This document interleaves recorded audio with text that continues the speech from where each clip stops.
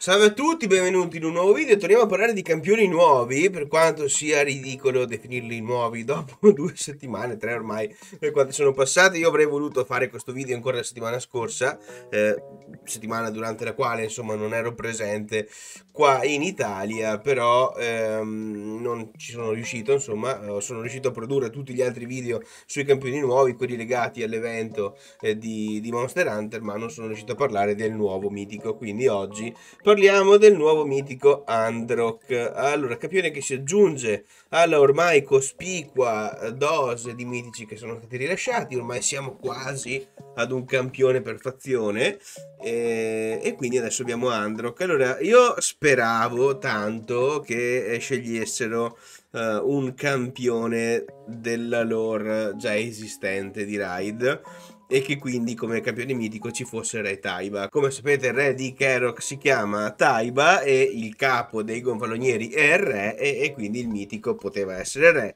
e invece no abbiamo un condottiero generico eh, de, dei gonfalonieri e va bene così. Campione di tipo difesa che diventa di tipo assistenza nel momento in cui passiamo alla sua forma alternativa esteticamente molto molto gradevole e con delle statistiche spaventose perché ha tanta tanta velocità, una difesa base assurda e un buon HP HP sul quale ci può costruire una bella corazzata gigante, quindi niente niente male. Allora vediamo che cosa fa. Con la sua 1 attacco nemico piazza un aumento di difesa del 60% su tutti gli alleati per un turno. Molto interessante, il debuff dura un turno solo, ce ne rendiamo conto, ma comunque potrebbe permettere ai nostri alleati di tenkare e comunque la sua 1 la utilizzerà spesso, quindi tanto di guadagnato, sono tutti buff in più. Con la sua A2 attacca tutti i nemici aumenta di un turno la durata di tutti i buff sugli alleati.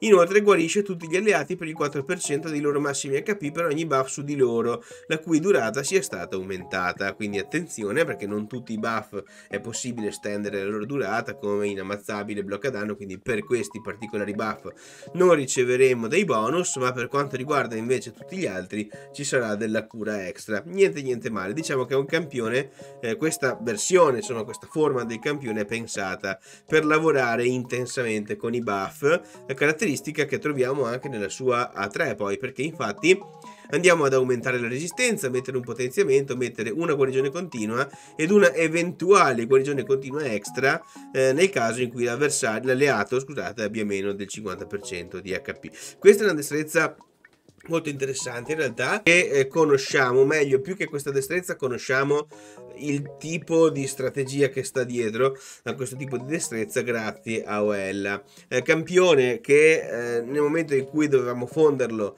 non sembrava così interessante molti non l'hanno fusa eh, altri invece ci hanno creduto e hanno tirato fuori anche dei risultati abbastanza dignitosi contro l'Idra resta secondo me un campione utile ma non fondamentale insomma quindi se non l'avete fusa non ci piangerei sopra, però comunque è un campione sul quale si possono costruire delle strategie conservative per il team molto interessanti. E questa destrezza fa la stessa identica cosa. È chiaro che dovrò curare un pizzico la resistenza di tutto il mio team, eh, perché in un ipotetico fight contro l'Hydra per esempio, la testa che strippa non andrà a puntare il nostro Androck che comunque ha tutta una serie di difese che gli permettono di non farsi strippare e le vedremo poi con la passiva. Andrà a puntare gli altri quelli che verranno buffati di più per esempio in questo caso verranno buffati di più coloro che si trovano con pochi HP il nuker di turno, che però di solito non si fa con molta resistenza. Ciò significa che dovrò alzare un po' l'asticella per quanto riguarda la resistenza su tutti i campioni del mio team, però non tanto perché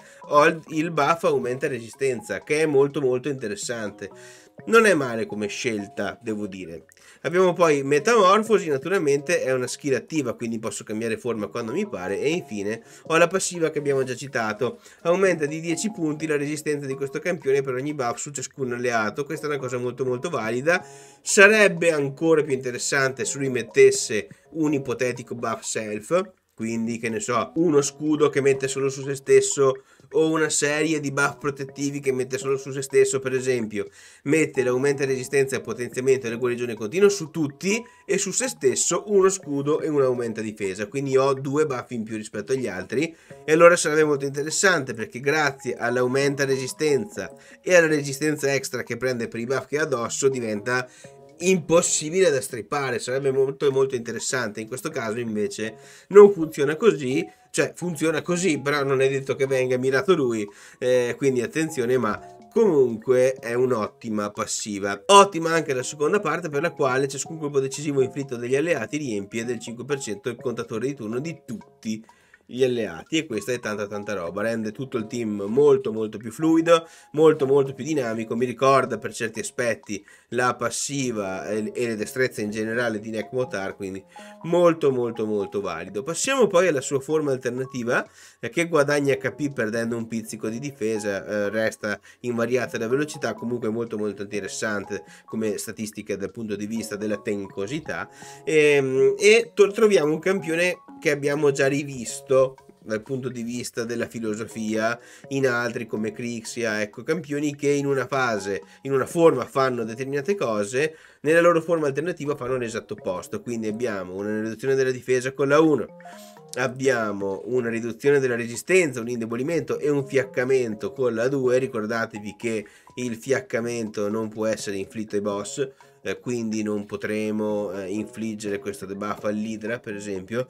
Questo ne limita un po' l'uso ma comunque non è un grosso problema No, non importa, si può utilizzare in tanti altri contesti sicuramente.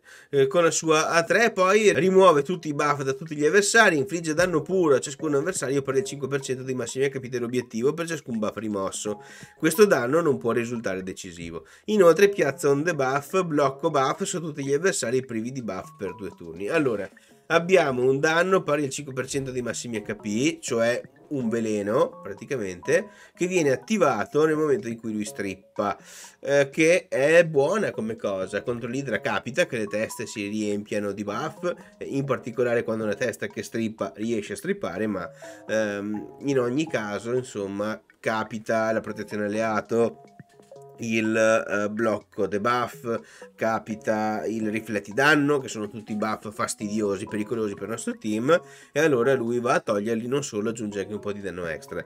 L'unico danno, tra l'altro, che vale la pena far fare al nostro Androck, perché questo campione non ha moltiplicatori molto elevati, ha una difesa di base assurda, ma comunque non ha dei moltiplicatori elevati, quindi non vale la pena curare il tasso e il danno, e in questo caso ulteriormente non ne vale la pena, visto che questo colpo non può essere decisivo, ma comunque saranno dei danni extra che possono influire, possono aiutare il nostro Androck a contribuire ai danni finali. Andiamo poi a mettere un blocco buff per due turni, sappiamo quanto questo possa essere utile. Contro l'Idra, in particolare quando la destrezza prima strippa e poi va a mettere blocco. Molto molto interessante.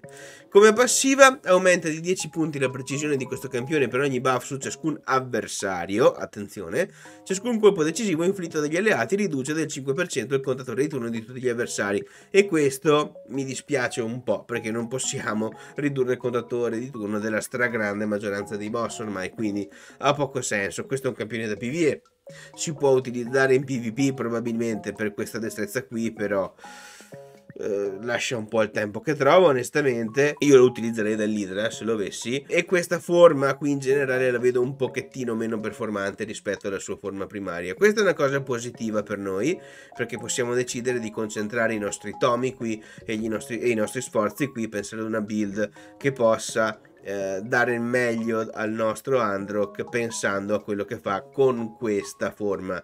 Eh, in questa forma non ha bisogno di precisione per lavorare, ciò significa che potremo completamente ignorare la statistica per concentrarci sul resto. Resistenza, per esempio, oltre a tutto il resto potrebbe fare molto molto comodo, oltre ad una velocità di base sostenuta, ma parte da 110, quindi sono sicuro che non sarà un problema. Non sono in molti ad averlo trovato, mi auguro che lo possiate trovare anche voi. È chiaro che quando apri apri una scheggia mitica il sogno è sempre Crixia perché me ne rendo conto, ma se ti esce Androck io credo che dovreste essere contenti.